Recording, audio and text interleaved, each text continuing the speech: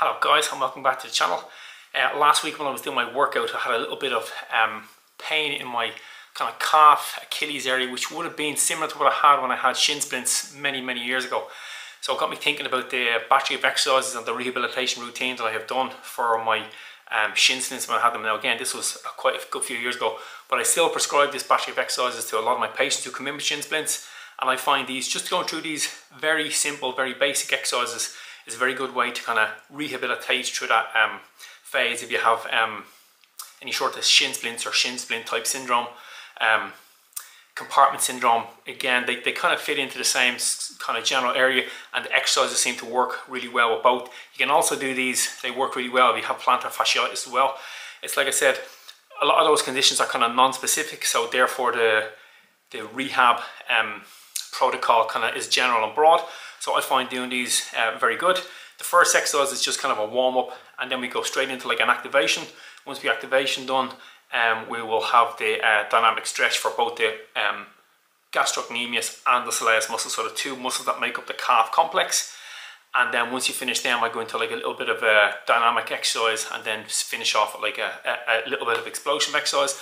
And again, if your shin splints are not too bad, I would say do these before you go off your run and then do them, like maybe just do one set of what I'm going to show you now before you run and then after you run you could kind of do another two sets maybe. Um, if your shin splints are pretty bad and very acute, I would say kind of ease off the running as much as you can and, and just try and do these and then build up the running really slowly. But anyway, let's get into the exercise and you can see what I'm talking about. So the first thing I'm going to do once I get out on the road or before I leave the house to go on the road is uh, bring the two feet back enough that I can have a little bit of a knee bend, okay? And I'm just going to bend one knee in and keep the other one locked out and then I'm just going to alternate. So this is kind of like an activation or a warm up just to get the calves moving. So I can start it pretty slow and then I can kind of speed it up into what would kind of simulate a run. And again, you're just getting those ankle joints, knee joints, and all the muscles in between that calf all activated and moving. Okay, and then once we finish that, I'm going to stand with the feet about a meter or two and a half, three feet away from the wall. I'm going to bring one leg in, so my left leg is in, my right knee has the capability to bend and then stretch out. And what I'm going to do is using a little bit of tension, just drop it down and back up. So I'm really getting those soleus muscles, get a big stretch and then flex it back out. So I'm right up and down and I'm going to get about 10 on that side. So there is a little bit of tension being built up through that calf as I do that and then I'll change over, so other leg in, right leg comes in now, there's no weight on this right foot, all the weight is being pushed through the back heel on the left, and I'm just going to let that knee bend in, and then straighten it out. So it's up now, and I really feel that activating through my lower Achilles and up into that soleus muscle which attaches just below the knee but not going above the knee joint. That's it. Now, if that gets the if that gets the soleus muscle, I want to get the, the uh, gastroc muscle next. So I'm going to take a step, and it's important that you have a little bit of step. You can use the curb outside of your outside. And what we're going to do is I'm going to let the heel drop below the level of the ground, or uh, what would be the ground, and then I'm going to push up. So again, it's just 10 of that stretch with resistance through that gastrocnemius muscle. That's it, and then I'll change over, I'll do the left side. So again, it's important that you can let that heel drop down below the level of the ground or what it will be, and then it's up and down. So again, a little bit of resistance training. If you're, like I said at the beginning, if your shin splints are too sore you can't run, then you could just do these on the days where you would run. Very good exercises just to help you rehabilitate that. From there then I'm going to go into that static or dynamic stretch. So this time I'm going to have the right leg in near the wall, the left leg is out, so I'm getting a real big stretch on the gastroc muscle. The knee is totally locked out on the left side, so there's no bend in the knee because the gastroc muscle attaches above the knee.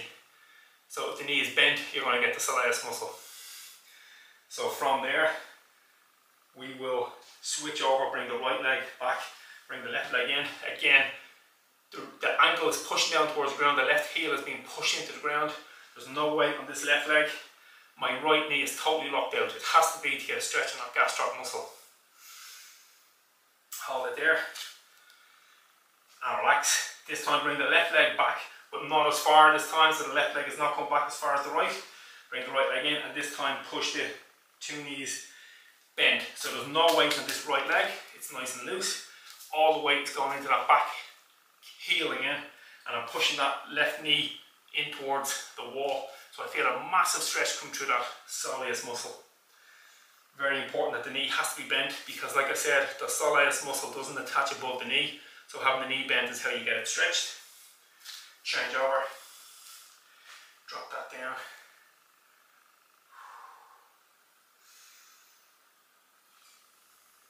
Hold it there for a couple of seconds again with that right knee bent. All the weight is going pushed through that right heel. over there. So we've done kind of the activation, we've done a little bit of resistance, we've done the dynamic stretch. I will finish up then. What I would do um, is just coming up into a calf raise and then as I come down I rock and I let my toes come up off the ground. So I can go for about 10 of those and as the pain subsides or as the shin splints start to get a little bit easier you can bring that into like a little hop.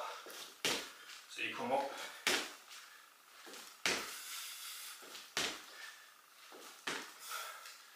and you can build that up. So that's great, that's all those exercises done. The other thing that I should mention is that um, going along with doing those exercises, it would be very good to get some sort of just general mobility um, if you are running or if you're taking your running up. So what I'm going to do is I will link just here um, a video of um, me doing some general uh, running mobility exercises. Throwing this in maybe once or twice a week along with doing these exercises is going to be absolutely fantastic in terms of your ability to keep running without being any injury. Um, remember guys, run far, run fast, most of run sensible.